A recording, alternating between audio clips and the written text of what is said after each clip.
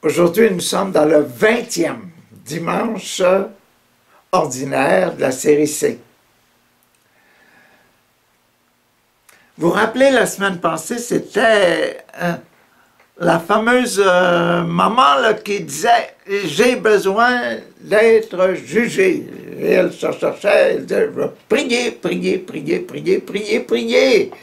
Et c'est à force de prière qu'elle a obtenu son, euh, son jugement, hein, son jugement. Et puis aujourd'hui, le 20e, on est encore dans une histoire de prière. La prière du pharisien et du publicain.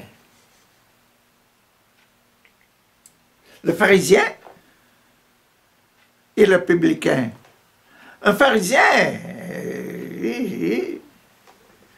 un gars de la loi, là, un gars qui est toujours à l'église, là, un gars qui observe les commandements de Dieu, puis toutes les petites euh, règles de l'Église des Juifs.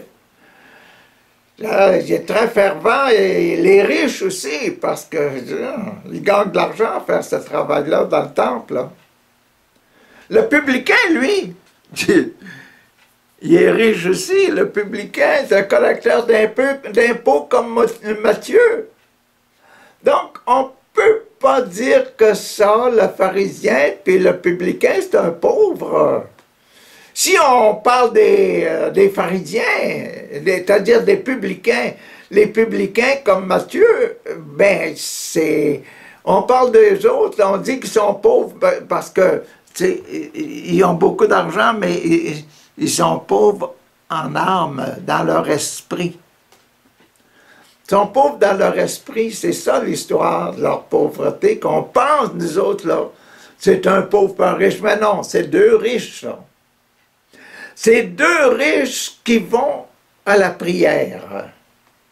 Tiens, deux riches qui s'en vont à l'église.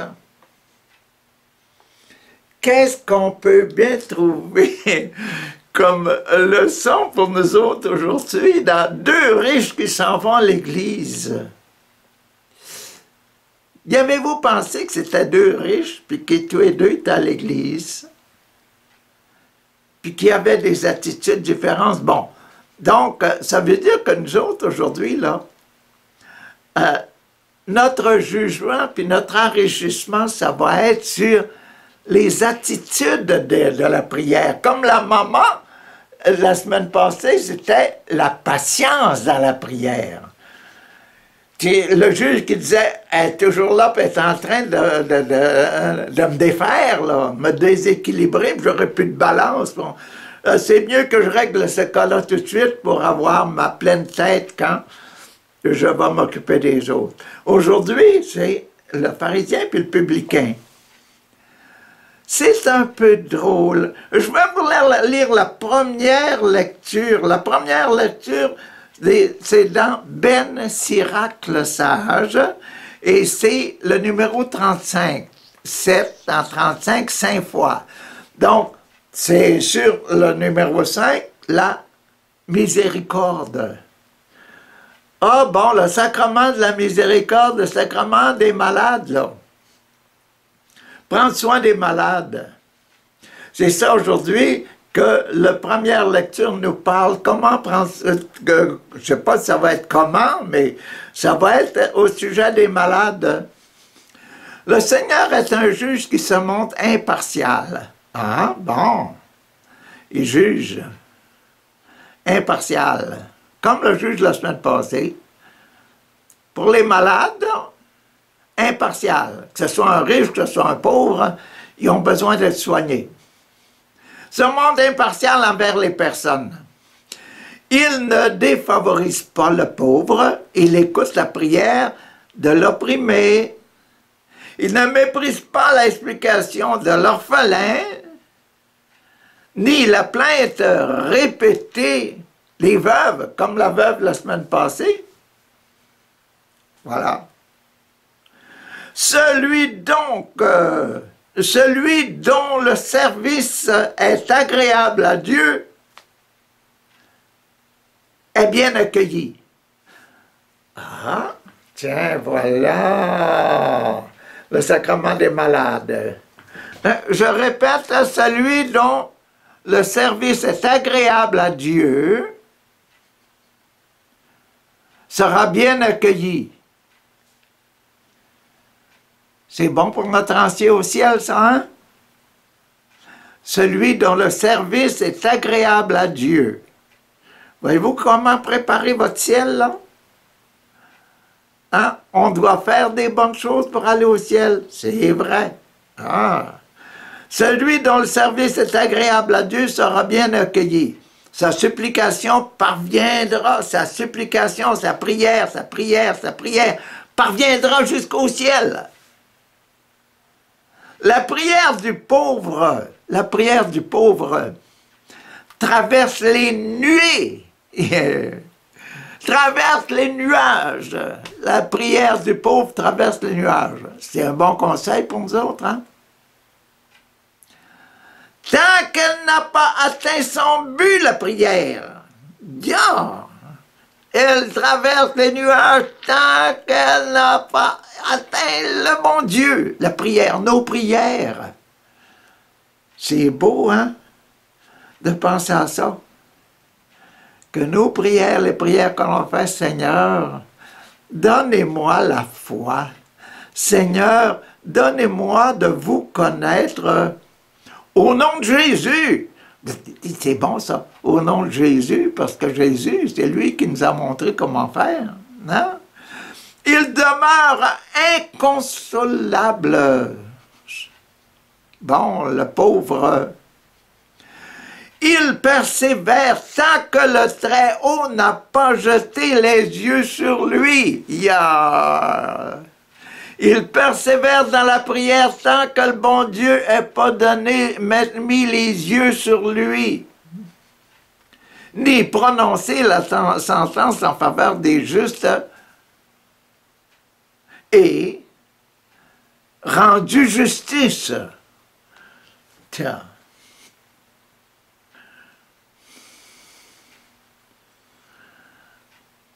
Avec un prêtre, là, on, sent, on, on, discutait, en discussion.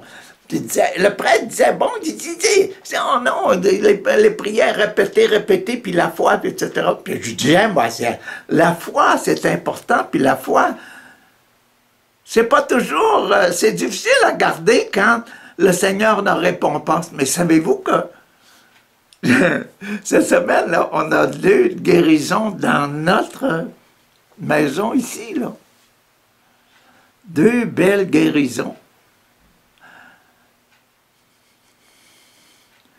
Et puis c'est ça, c'est là qu'avait sorti, sorti notre discussion. Il disait, moi je prie là. On peut même imposer les mains, là. Ça fait deux fois que je lui impose les mains pour son œil droit. mais là, j'ai pas la guérison mais je dis, mais c'est, père, c'est pas mon père, c'est pas, c'est pas l'histoire de la foi. Moi, je sais que le bon Dieu euh, est capable de le donner, puis je sais que je le demande. Puis je sais que quand on est plusieurs, puis là, au, sortir de la discussion, on m'en va dans le groupe charismatique ici, puis on va prier.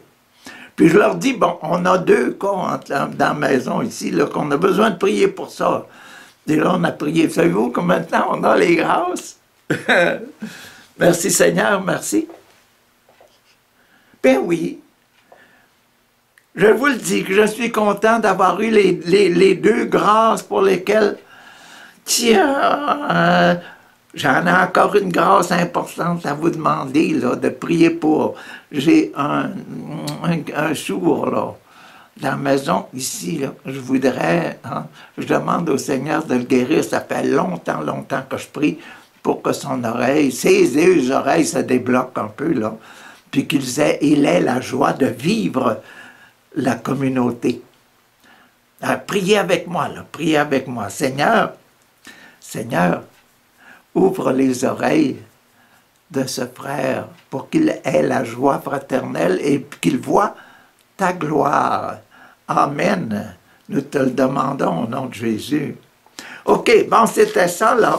Voyez-vous, pour la, sagesse, c'est bien le, 35, c'est bien le mariage, qu'il est marié avec son peuple, puis qu'il écoute les prières de son peuple. La prière du pauvre, notre prière, là, elle traverse les nuages jusqu'à n'ait pas atteint le cœur de Dieu. Puis on va prier pour cette intention-là jusqu'à ce que Dieu, Dieu n'ait pas répondu et qu'il n'ait pas aimé, aimé, aimé euh, notre confrère là d'une façon spéciale. Merci de votre prière. Deuxième lecture, lecture de Saint Paul apôtre à Timothée, à son ami Timothée. Yeah. Bon, et c'est le numéro 4, euh, chapitre 4, Timothée 4, ça veut dire qu'on va parler de l'Eucharistie du sacrement de l'Eucharistie en ordre, qui, va montrer ses preuves. Allons-y pour voir. Bien-aimés, je suis déjà offert en sacrifice. Tiens, euh, voilà l'Eucharistie. S'offrir soi-même en sacrifice, c'est le sacrement de l'Eucharistie en action, ça là. là. Pensez à vous autres, là, vous, vous, là, vous êtes les parents dans la famille, là. Vous êtes le papa, vous êtes la maman, là. Ben, vous, êtes vous vous offrez un sacrifice pour vos enfants. C'est important de savoir ça, que le, sacrement de l'Eucharistie, là, hein, le fait de vivre avec vos enfants, ça, c'est de vivre ensemble, puis vivre dans l'amour, là. C'est vraiment ce que Jésus a vu qu'il fallait faire, puis qu'il a dit, c'est un sacrement, c'est le sacrement de l'Eucharistie, c'est vivre quelque chose en famille, dans l'amour. Et ça s'applique dans nos vies. C'est tellement beau de vivre dans l'amour que Jésus a dit, c'est ça qu'il faut faire. Là. Puis c'est offert, offert lui-même sur l'autel de la croix sur l'hôtel qui est en arrière de nous autres, de Saint, Saint, Paul, dont l'histoire de l'hôtel est donnée par Saint Luc. Saint Paul qui offre, offre le sacrifice sur l'autel partout, partout, partout. Il fait grandir le royaume de Dieu, la famille des enfants de Dieu. Bien-aimés, je suis déjà offert un sacrifice. Je suis en prison, moi, là. Je suis déjà offert un sacrifice. Le moment de mon, départ est venu. Vous euh, probablement qu'il savait déjà qu'il euh, allait tuer, là, Saint-Paul. J'ai mené le bon combat, dit-il. J'ai achevé ma course, j'ai gardé la foi. J'ai gardé la foi en Jésus-Christ la foi que je vous enseigne, je n'ai plus qu'à recevoir la couronne de, la justice. Là. Je fais simplement attendre le moment où je serai offert en sacrifice là, sur l'autel, qu'on va me couper le cou. Tiens, le Seigneur, le juste juge, me la remettra en ce jour-là, et non seulement à moi, mais aussi à tous ceux qui auront désiré avec amour la manifestation de glorieuse. Le Seigneur me donnera, cette couronne d'être immolée pour que l'Église augmente, pour que la foi augmente. Là.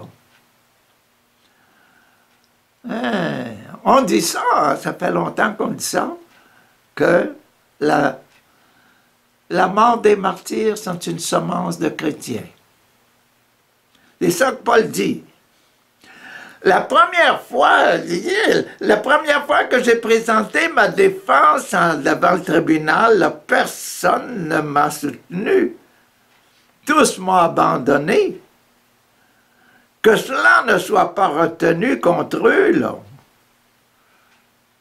Je leur pardonne. Hein. Le Seigneur, lui, m'a assisté. Il m'a rempli de force pour que, par moi, la proclamation de l'Évangile s'accomplisse jusqu'au bout et que toutes les nations l'entendent. J'ai été arraché à la gueule du lion. Le Seigneur m'arrachera encore à tout ce qu'on fait pour me nuire. Il me sauvera, me fera entrer dans son royaume. Quand on va me couper le cou, je vais rentrer dans le royaume de Dieu avec la paix. À lui la gloire pour les siècles des siècles. Amen. C'était ça aujourd'hui. Voyez-vous le sacrifice de, de Saint Paul là?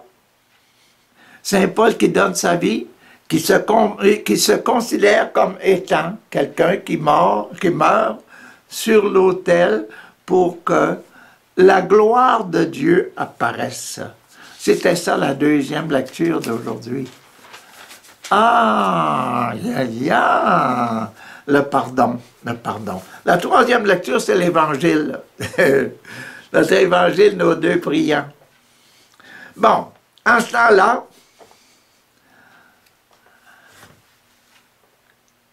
à l'adresse de certains qui étaient convaincus d'être justes. Cet évangile, ce petit passage aujourd'hui, est à l'adresse de certains qui étaient convaincus d'être justes. Charles, le pharisien et le publicain étaient convaincus d'être justes.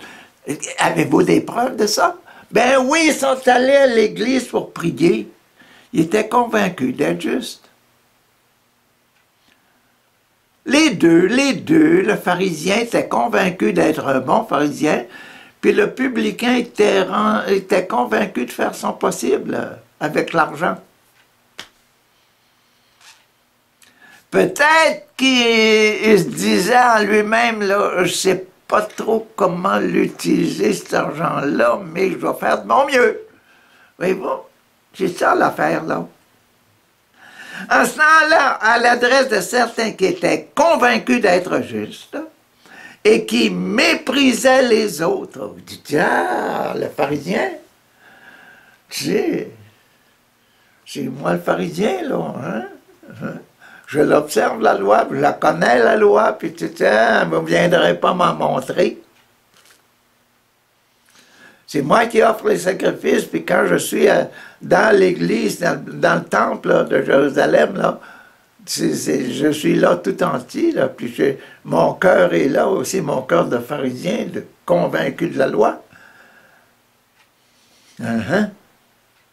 Puis le pharisien, lui, s'en va à l'église, puis considère le bon Dieu d'une autre façon. Il était convaincu qu'il était un pauvre qui ne savait pas trop comment faire avec l'argent. Il était convaincu de ça. Il méprise les autres. Le pharisien méprisait le publicain, il disait, on va voir. Jésus dit la parabole, euh, la parabole que voici deux hommes montèrent au temple pour prier. L'un était pharisien et l'autre publicain. Le publicain, ça veut dire un, un, collecteur d'impôts, l'argent, les impôts. Le pharisien se tenait debout, priait en lui-même. Dieu. Il disait pas son histoire tout haut, il, il criait pas ça à tout le monde. Là il priait en lui-même. Le pharisien, hein, il commençait à s'habituer d'aller au temple. il s'était aperçu avec les années, puis avec le, temps, que prier tout haut dans le temple, tout seul, quand on est devant tout le monde, c'est pas bénéficiaire pour tout le monde qui nous entend. C'est mieux de rester silencieux puis de prier dedans. Et, euh, euh, il prie, et priait en lui-même, en dedans de lui-même. Tiens, quand on va à l'église, hein, c'est bon ce qu'on fait. On, on, nous a bien montré ça, de prier en nous-mêmes. Mais je pense qu'on devrait faire un petit effort pour prier plus haut une fois de temps en temps. Mon Dieu, ce qu'il disait à l'intérieur de, dans son ventre, là, mon Dieu, je te rends grâce. Dans son ventre, là. Mon Dieu, je te rends grâce. Parce que je ne suis pas comme les autres hommes. Je suis un pharisien, moi. Je sais que je suis un pharisien. Tu le prêtre, là, la bonne sœur, là, le pape, est-ce qu'il prie comme tout le monde? Quand il prie dans le, dans le ventre, là, il prie comme moi, comme toi? Ça doit être la même chose, là. Hein? Je te rends grâce, Seigneur, parce que je ne suis pas comme les autres hommes. Bien, hein, tout le monde peut dire ça. Mais là, ce qui vient, ils sont voleurs, ils sont injustes, ils sont adultères. C'est bon à dire aussi. Dans mon ventre, là, je ne suis pas comme les autres. Je ne suis pas un voleur, je ne suis pas un injuste. Je ne suis pas un adultère. C'est bon à, dire. Moi, je ne dis pas que c'est pas bon, je trouve ça bon de dire ça. Et c'est une prière, hein? C'est une prière qui s'adresse à Dieu. Ou encore, je ne suis pas comme ce publicain, là. On dit, ça, là, tu vas un petit peu loin, là. Tu juges l'autre. Tu dis que celui qui est là en arrière toi, là, le, publicain là-bas, là, celui qui est là-bas, là, tu euh, c'est un peu trop précis, cette affaire-là, là. Je pense que euh, on devrait faire attention à ça. Hein? Parce que quand on dit celui-là, là-bas, là, il n'y est pas, on le juge, on fait un juge. Est-ce que je l'aime quand je le juge, là? Le commandement, c'est aime ton prochain, c'est pas dire juge-le. Tu n'es pas comme lui. Non. Il faut. Euh, je crois qu'il faut être un peu plus, plus général que ça. Hmm. Et dire que je suis un bon gars, ça c'est pas mal bon. C'est, intéressant. C'est acceptable pour une prière. Ah oui. Juste adultère, mais pas comme ça publicain. Là, là je mettrais des réserves. Hein. Mm-hmm. Je, moi, écoute, Seigneur, mon Dieu, hein, Papa, mon Dieu, je jeûne deux fois par semaine à faire un bel examen de conscience. Je verse le dixième de tout ce que je gagne, un dixième de tout ce que je gagne. Je paye mes, mes, mes, euh, mes redevances au Seigneur. Je gagne quelque chose, je t'en donne un dixième. Au bon Dieu, toi, bon, toi, mon Dieu, Seigneur, là. Je fais quelque chose pour toi, pour l'Église. L'Église. Le corps. L'Église qui est le corps de Jésus. L'Église. L'Église, corps de Jésus. Quand maman Marie, après la mort de Jésus, a considéré l'Église comme ses enfants, comme étant, elle en prenait soin des enfants de Dieu, des enfants de l'Église de son Jésus, comme si c'était de Jésus lui-même. C'est beau d'y penser, hein? c'est une bonne pensée pour aujourd'hui, ça. Ça peut, ça peut nous faire grandir comme Maman Marie, quand elle était avec les premiers chrétiens, elle considérait les autres chrétiens, tous les membres qui venaient prier dans l'église de Jean, là, à Éphèse, là, hein? tous les gens qui venaient à l'église, là, qui venaient dans la, la réunion de prière, là, c'était comme c'est Jésus. Et puis Maman Marie devait probablement aussi enseigner. Elle enseignait surtout en donnant des petites euh, euh, suppositions, puis des petites suggestions à Jean, comment améliorer la vie du cœur des enfants de son Jésus, des enfants de Dieu. Ah, je donne un dixième de tout ce que je gagne. Le publicain, lui, c'est un riche. Gardons ça dans le chose. C'est un riche, il avait de l'argent, lui. Le publicain, lui, se tenait à distance et il n'osait même pas lever les yeux au ciel. Il n'osait même pas regarder au ciel. Il, se baisse la tête devant Dieu, il prie devant Dieu. Imaginez-vous des attitudes de prière qu'on peut imaginer, quand on est seul dans notre chambre, on peut les prendre, ces positions-là. Hein? C'est beau la prière, la prière, puis, mais quand Dieu nous répond, par exemple, comme je vous disais tantôt, là, quand il donne les grâces, c'est bon de les publier, parce que le résultat d'une prière, la grâce qu'on a reçue, c'est la gloire de Dieu. Si on la proclame, si on dit les belles grâces qu'on a reçues, les miracles qu'on a reçus, les guérisons qu'on a reçues, ah, c'est beau. Le deuxième frère qu'on a reçu, c'est celui qui est allé à, l'hôpital, là, s'est fait opérer pour le cœur. Tel fait opérer le, jeudi, il a été opéré. Vendredi, soir, hier au soir, il était ici, dans la maison. Imaginez-vous, hein? Merci Seigneur, merci Seigneur pour tout le bien que tu fais. Puis la prière, on avait demandé à notre réunion charismatique que tout se passe comme il faut. Hey, il a resté juste une journée à l'hôpital sous euh, surveillance, là, pour voir si tout allait se passer. Comme quand on reçoit une piqûre, on reste 15 minutes après la piqûre de la COVID, là pour voir si on va avoir une réaction subite. Lui, il a resté seulement, euh, il a resté le, jour de son opération, le lendemain de son opération. C'est-à-dire 12 euh, heures, 12 heures après. Pour voir s'il n'y aura pas de complications. Il est rendu dans la maison, là. Il est couché. Il, va se reposer parce que c'est opéré pour le cœur.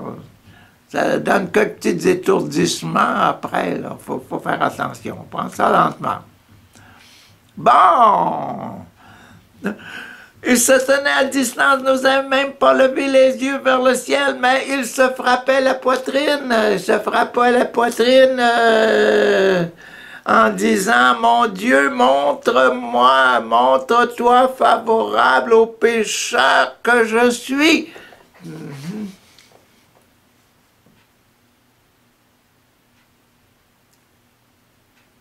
Hey, être malade,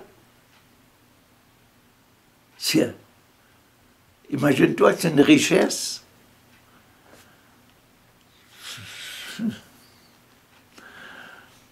Hey, là, le fait pour l'œil droit de, de, notre chose, l'œil droit, hein, qui a été guéri, là, La guérison, c'est une richesse, ça. Donc, euh, pour guérir, il faut d'abord être malade. La maladie que le bon Dieu nous envoie, des fois, c'est une occasion de richesse. Hein.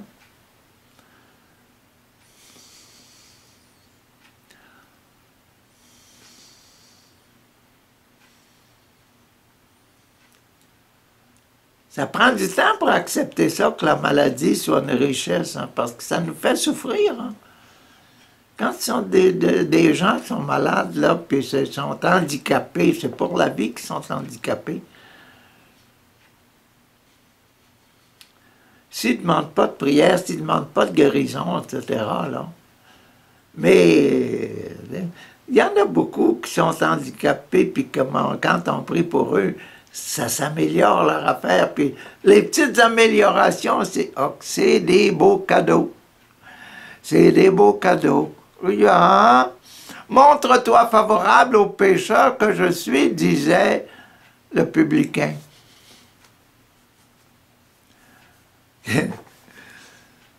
la fin. Je vous le déclare, dit Jésus. Je vous le déclare. Quand ce dernier-là, le publicain, redescendit dans sa maison, quand le publicain redescendit dans sa maison, c'est lui qui était devenu l'homme juste. C'est lui qui était devenu un homme juste.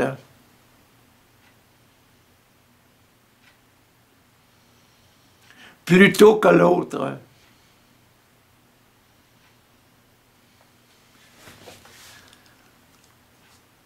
Quand on y réfléchit un petit peu, là, c'est vrai, il était pécheur, il est devenu un homme juste. Ça veut dire quoi? Ça veut dire que le pardon des péchés, hein, c'est une grande faveur. Le pharisien, lui, il se vantait, hey, moi j'en fais des belles choses, j'en ai des belles choses. Il dit, ah, hein? Euh, sur l'hôtel, là, j'en aurais des pommes, puis des oranges, puis des belles fleurs, puis des, hein, des beaux exploits à mettre pour dire grâce au Seigneur. Mais Jésus dit, faites attention, il dit, regardez, c'est celui qui a amené ses péchés ses difficultés qui a reçu le beau cadeau. Ah ben, je vous apprends quelque chose, là. Quand on apporte, quand on reçoit des grâces, des guérisons, c'est ça la gloire de Dieu. Quand on reçoit le pardon de nos péchés, c'est la gloire de Dieu. Quand on est pécheur, on pleure, là, puis après ça, on change notre vie. Hmm, ça, c'est la gloire de Dieu. Et c'est là que le Seigneur nous pogne aujourd'hui. Hein, il nous dit ça. Regardez donc, c'est quoi exactement la gloire de Dieu. Hey, quand le mouton qui s'était perdu, là, puis il y en avait, euh, euh, il était loin des 99 autres, là. Qu'est-ce qui faisait la gloire de Dieu? C'était Jésus est allé chercher celui qui était perdu, puis l'a amené dans le troupeau. Les autres, autres, là, il n'y avait pas besoin de gloire, ils avaient déjà la gloire de vivre ensemble dans le royaume. Mais la gloire, c'était de prendre celui qui était perdu, puis l'amener dans le troupeau. La maman qui avait perdu son argent, sa pièce d'argent, là, a chargé, cherchait la belle pièce d'argent qu'elle avait perdue. Quand elle l'a trouvée, elle l'a dit, elle a chanté, elle l'a chanté, elle l'a proclamé à tout le monde. Ça veut dire que dans nos communautés chrétiennes, si vous voulez attirer le monde, là, attirer l'attention, Montrez les grâces que vous avez reçues. Vous avez reçu des miracles, dites-le. Vous avez reçu des guérisons, dites-le. Vous avez reçu des beaux cadeaux, dites-le. Voyez-vous, c'est là, c'est ça que le bon Dieu, que ça que Jésus nous, attire l'attention, là. Qui s'élève Il n'y a pas besoin d'être glorifié. Mais celui qui s'abaisse, qui dit, moi je suis trop petit pour vivre avec vous autres, là, puis là, vous l'accueillez, là. Et puis vous le restez dans la communauté, puis on se réjouit tout le monde ensemble parce que tous les chrétiens sont là. N'ayez pas peur de, euh, après la messe, tout ça, les dimanches, là, de parler un petit peu sur le perron avec les gens. Et puis d'aller à d'autres réunions qui se font durant la semaine, s'il y en a dans votre paroisse. Hein? De faire partie des groupes, puis de parler des groupes d'entraide, puis tout ça. Ça, ça montre que ceux qui font partie de ça, là, ce sont ceux qui vivent ceux qui vivent l'Eucharistie.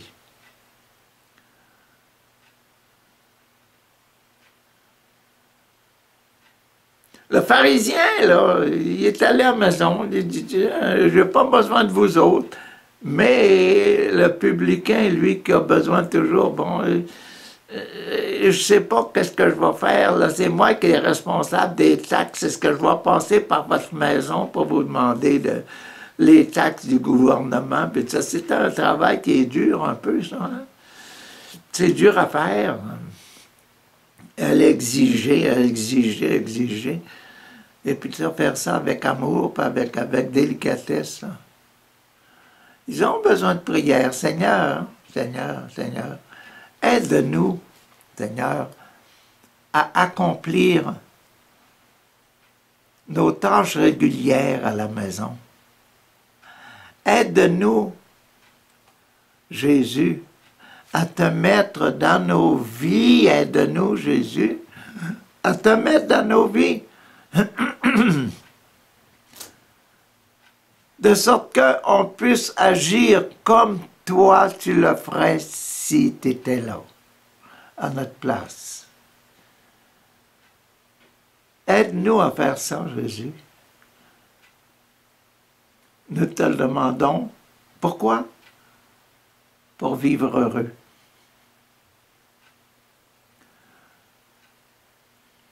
Pour vivre une vie heureuse, une vie de joie, temporelle et éternelle. Amen. Alléluia.